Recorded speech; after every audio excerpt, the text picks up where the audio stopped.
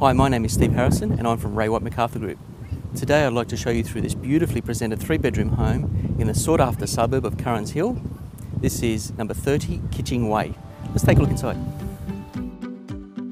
Currans Hill has recently become one of Sydney's fastest growing suburbs. With plans for a railway station at Narellan and an airport at Badgerys Creek in the future, the growth potential for Currans Hill is immense. Situated in a quiet street opposite walking tracks and playing fields, this fantastic property represents true value for the first home buyer or for the investor. Neatly presented and featuring three generous sized bedrooms, separate lounge and dining areas, and another open, light filled living area to the rear. You'll feel right at home here. Featuring a well appointed kitchen in the centre of the home, a beautifully renovated bathroom, a single car garage and attached workshop, all on a 502 square metre block.